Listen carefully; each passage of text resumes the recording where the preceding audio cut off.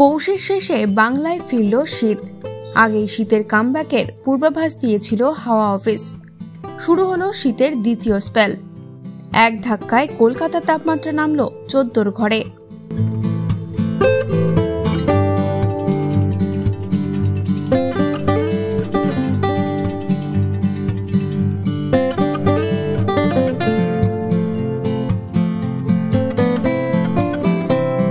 শুক্রবার সকাল থেকেই ঘন কুয়াশার দেখা মিলেছে। আকাশ আংশিক মেঘলা। রোদের দেখা নেই। কলকাতা সহ দক্ষিণবঙ্গের জেলায় জেলায় কুয়াশা। বেলা বাড়ার সঙ্গে পরিস্থিতি স্বাভাবিক হবে বলেই জানিয়েছে হাওয়া অফিস। আগামী তিন দিন রাতের তাপমাত্রা অনেকটাই কমার সম্ভাবনা রয়েছে। পশ্চিমের জেলাগুলিতে তাপমাত্রা দশ ডিগ্রির নিচে নামতে পারে।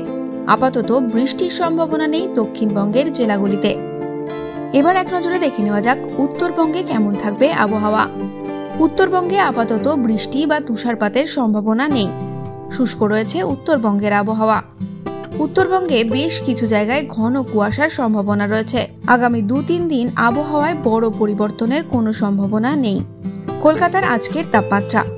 কলকাতার আজকে সর্বোচ্চ তাপমাত্রা রয়েছে পঁচিশ দশমিক এক ডিগ্রি সেলসিয়াস এবং সর্বনিম্ন তাপমাত্রা রয়েছে চোদ্দ দশমিক এক ডিগ্রি সেলসিয়াস। যা স্বাভাবিক বলেই জানাচ্ছে হাওয়া অফিস।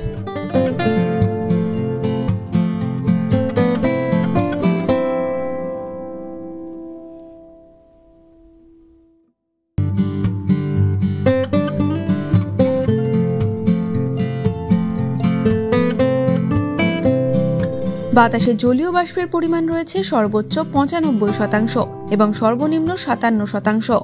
এবার এক নজরে দেখে নেওয়া যাক দেশের আবহাওয়া। সকাল থেকেই ঘন কুয়াশা দেখা গিয়েছে দিল্লিতে। একই ছবি উত্তরপ্রদেশের কানপুরেও।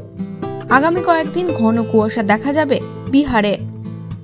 দেশের বিভিন্ন প্রান্তে সকালে এবং রাতে ঘন কুয়াশার দেখা মিলবে বলেই জানাচ্ছে হাওয়া অফিস। পাঞ্জাব, হরিয়ানা, উত্তরপ্রদেশে ঘন কুয়াশার দেখা মিলবে বলে জানিয়েছে হাওয়া অফিস।